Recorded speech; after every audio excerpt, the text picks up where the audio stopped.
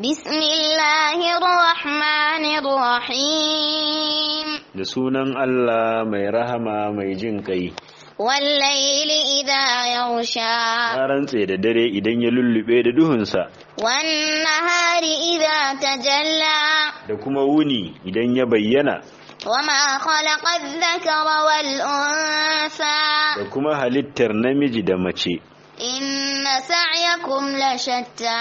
lallai aikinku ya sha bamban فأما من أعطى واتقى to wanda ya ba da haƙoƙin da ke kansa ya kuma yi taƙawa وصدق بالحسنى ya kuma gaskata sakamako mafi kyau فسنيسره لليسرى to lalle ne za mu sauƙaƙa masa hanyar aljanna وأما من بخل واستغنى amma kuma wanda ya yi rowa da haƙƙin Allah ya kuma wadatu da neman lada وكذب بالحسنى kuma ya ƙaryata sakamako mafi kyau فسنيسره للعسرى to lalle ne za mu hore masa hanyar wuta وما يغني عنه ماله إذا تردى dukiyarsa kuma ba za ta wadatar masa ba idan ya gangara cikin wutar إن علينا للهدى lallai bayyana hanyar shiriya a kanmu yake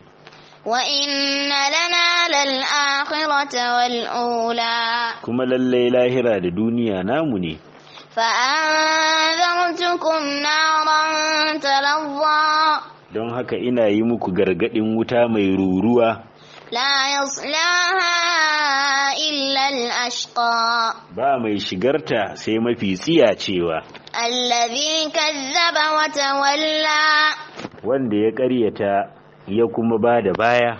وسيجنبها الأتقى kuma lallai za a nesantar da mafi takawa daga gare ta الذي يؤتي ماله يتزكى